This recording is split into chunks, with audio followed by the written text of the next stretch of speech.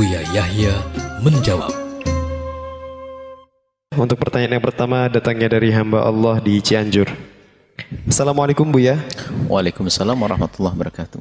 Saya sedang ada masalah sama suami saya Buya.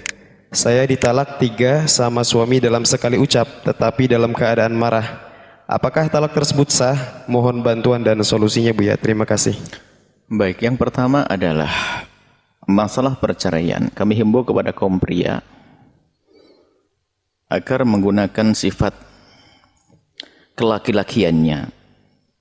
Sifat kelaki-lakian adalah sifat orang yang tabah, kuat, dan bisa ngayomi. Maka tandanya apa? Tidak mengobrol kalimat cerai. Maka laki-laki lemah adalah yang ngobrol kalimat cerai. Padahal sudah tuntunan dari baginda Nabi, kalau memang ada punya masalah, cerai satu, biar belajar saat itu. Kemudian beri cerai dua, biar belajar setelah itu. Baru nanti nggak bisa belajar, sang istri kasih cerai tiga. Lalu ada yang mencerai dengan cerai tiga lah ini. Kemudian ya, ini yang pertama ya. Bagaimana jika ada laki-laki mencerai tiga? Pertama yang harus dicermati, ini kami himbau kepada para asatid juga dan yang lainnya. Jika ada pengaduan atau mengaku telah mencerai atau dicerai, wanita mengaku dicerai atau laki-laki pernah mencerai, maka tolong dicek kembali seperti apa sih kalimatnya. Sebab selama ini yang kami alami, banyak seolah-olah kalimat cerai ternyata belum kalimat cerai. Ya, jadi tolong dicek kembali apa yang diucapkan suami dan apa yang dengar seorang istri. Baru nanti diputuskan. Anggap saja Betul seorang kali seorang suami mengatakan dengan kalimat yang soreh, tidak ada kinayah, tidak ada sembunyi di dalamnya, maknanya jelas, lafadznya jelas. Misalnya seorang suami mengatakan kepada istrinya, engkau aku cerai tiga. Nah ini bagaimana? Mencerai tiga. Adapun mencerai tiga adalah jumhur ulama empat madhab. Selebih itu adalah urusan yang mengambilnya. Kami hanya akan mengatakan di antara lingkup empat madhab. Ada lingkup empat madhab bahwa mengatakan cerai tiga dalam waktu satu waktu, maksud satu waktu itu selagi masih dalam masa iddah, maka itu akan jatuh tiga. Jadi bisa saja dicerai seorang suami mengatakan engkau aku cerai tiga langsung jatuh tiga. Atau mencerai tiga di dalam waktunya beda-beda tapi dalam masa iddah. Mencerai hari ini kemudian selagi masih dalam iddah mencerai lagi. Selagi dalam masa iddah mencerai lagi. Maka jatuh tiga. Karena apa? Selagi dalam masa iddah dia masih seperti istrinya. Maka cerai yang dijatuhkan kepada istri maka jatuh cerai berbeda jika wanita sudah keluar masa iddah maka tolak tidak akan jatuh karena apa sudah bukan istrinya ini adalah yang ada dalam empat madhab memang ada selama ini suara-suara diangkat bahwasanya Tolak tiga jatuh satu adalah urusan anda yang mengambil dan itu bukan dari empat madhab. Kami tidak akan sampaikan itu. Yang mengambil itu silakan urusan anda dengan dengan ulama tersebut. Empat madhab, madhab Hanafi, madhab Maliki, madhab Syafi'i, madhab Hambali. Talak tiga yang dilakukan di satu majlis, yang di, di, di, dijatuhkan di satu majlis satu waktu, termasuk di dalamnya adalah selama masa iddah, maka jatuh tiga. Adapun tolak yang disampaikan dalam keadaan marah dalam madhab kita Imam Syafi'i marah adalah tetap dianggap sebagai sah tolaknya orang yang marah memang di sana ada khilaf masalah marah akan tapi lihat marahnya seperti apa pemicunya apa tapi dalam madhab kita Imam Syafi'i adalah tetap jatuh biarpun dengan marah sebab kita perlu membiasakan siapa pun yang marah jangan melakukan hal-hal yang seperti itu Makanya perlu melatih hati, ahli. Jangan sampai gampang mengucapkan kalimat cerai dan kalimat cerai. Kemudian, setelah wanita itu dicerai tiga oleh sang suami, maka sang suami tidak bisa kembali lagi kepada sang istri, mantan istri, tidak boleh rujuk lagi kepada sang mantan istri, kecuali mantan istri sudah menikah lagi. Dan biar dia merasakan dengan yang lain karena apa? Mungkin suaminya zalim biar tahu nanti. Mungkin setelah itu istrinya menikah dengan laki-laki lain dan dia lebih bahagia. Biarkan. Jangan sampai didolimi wanita. Nggak boleh dolim kepada wanita di bawah rengkuannya. Didolimi, diseksa, dipukuli nggak boleh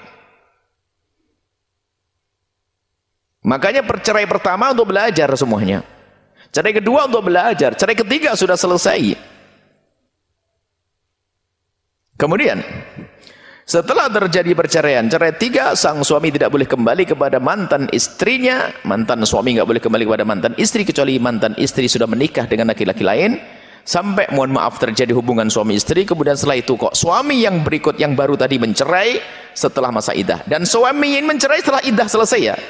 Suami yang kedua tadi menikahi wanita tersebut harus setelah selesai masa iddah dicerai tiga tadi. Kalau dia orang hamil sampai melahirkan, kalau dia orang punya haid adalah tiga kali suci, seperti itu.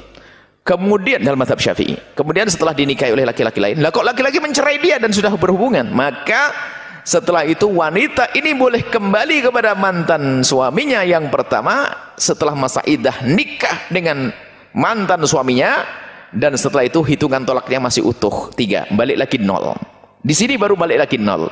Tapi kalau cerai satu Wanita dicerai satu kemudian masa idah selesai belum kembali belum rujuk maka nikah lagi maka dihitung satu. Tinggal dua lagi. Yang kembali nol adalah setelah selesai talak tiga.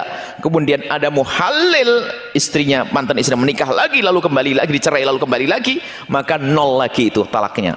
Masih tiga kemudian yang lebih penting dari itu semua adalah kepada siapa pun kadang subhanallah begitu mudahnya melakukan. Beberapa waktu yang lalu ada sebuah pertanyaan menyedihkan. Ribut saja akhirnya selesai cerai setelah cerai hubungan sampai hamil. Astagfirullah gila. Waktu suami istri ribut. Setelah cerai malah melakukan zina. Ayo. Takutlah kepada Allah. Maka siapa pun hati-hati. Di dalam urusan perpisahan. Wanita minta cerai karena suaminya dolim oke. okay. Akan tapi ketahuilah apakah setelah sendiri mampu menjaga kehormatan kemuliaannya. Kadang naudzubillah mempunyai suami memang katanya tidak indah dan sebagainya. Dan di saat tidak indah memang biasanya urusan-urusan hubungan pribadinya, urusan pribadinya teredam karena dikuasai oleh marah dan emosi. Tapi setelah menjanda naudzubillah bisa saja bangkit syahwat lalu melakukan kehinaan zina, zina yang hina naudzubillah. Hati-hati. Jadi pasca perceraian itu harus dipikirkan, khususnya para wanita. Jangan gampang minta cerai. Yang perlu dipertimbangkan adalah setelah dicerai, apakah mampu menjaga kehormatannya atau tidak.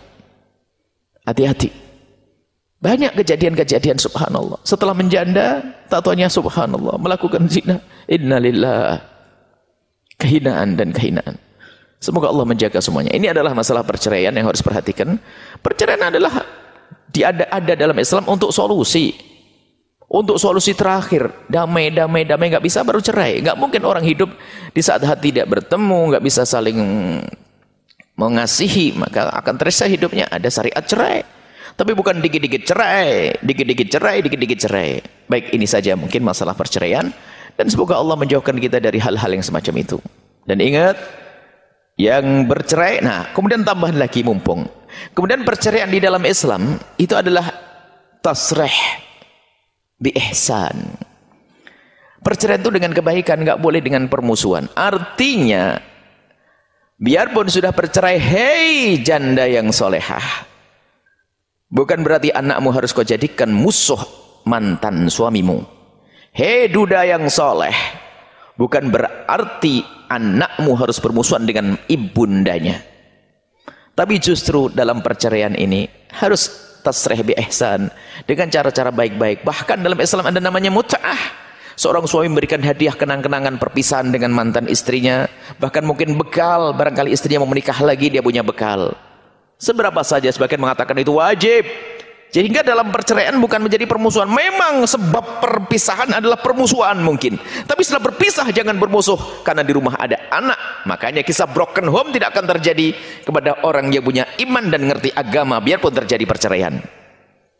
Sehingga tetap diajarkan anaknya. Mungkin seorang istri, seorang janda mengatakan kepada anaknya. Wahai anakku, aku memang sudah berpisah dengan ayahmu. Tapi ingat, ayahmu adalah ayahmu. Aku berpisah hanya tidak ada kecocokan ayahmu, ayahmu. Jangan sampai kau tidak hormat kepada ayahmu. Sang ayah pun juga sama. Wahai anakku, aku memang sudah pisah dengan ibumu, tapi ingat. Ibumu adalah ibumu, surgamu di bawah telapak tangannya. Oh begitu. Jangan perceraian menjadi sebab permusuhan. Kadang permusuhan keluarga dengan keluarga. Oh, na'udzubillah. Sudah bercerai, terputus, anak rusak, keluarga tidak indah, terseksa. Neraka lagi, na'udzubillah. Di dunia neraka, nasib buruk. Benar tuh manusia. Di dunia menikah sudah tidak indah, tak taunya di akhirat masuk neraka. Hiduplah yang indah, yang baik, yang benar. Dan semoga Allah memberikan kebahagiaan kepada semuanya. Wallahu a'lam bishawab.